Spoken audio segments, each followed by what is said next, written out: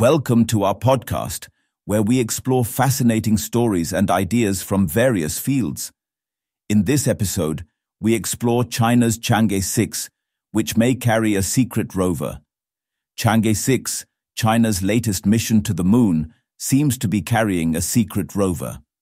After the successful launch of the spacecraft on Friday, May 3rd, the China Association for Science and Technology released new photos of the lander, and internet sleuths were quick to spot a small grey object with wheels strapped to the side.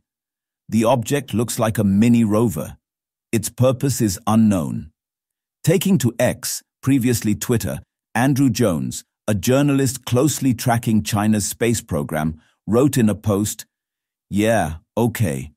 That looks like a previously undisclosed mini rover on the side of the Chang'e 6 lander. What will the mini rover do?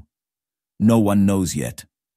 As per a live science report, a translated statement from the Shanghai Institute of Ceramics revealed that the small robot has an infrared imaging spectrometer.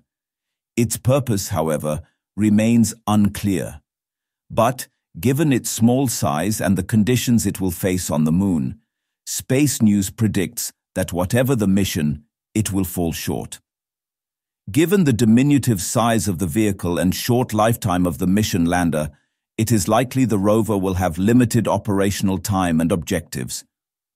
According to Space News, this is not the first time China has sneaked undisclosed payloads onto its spacecraft. Previously, in 2021, during China's Tianwen-1 mission to Mars, the nation's spacecraft ejected a disposable spacecraft that took pictures of Tianwen-1 on its way to the Red Planet. The Tianwen-1 orbiter was also equipped with another detachable camera that took selfies while in orbit around Mars. Further, the Zhurong rover, which was part of the Tianwen-1 mission, also dropped a camera on the Red Planet. Thanks for tuning into this incredible story.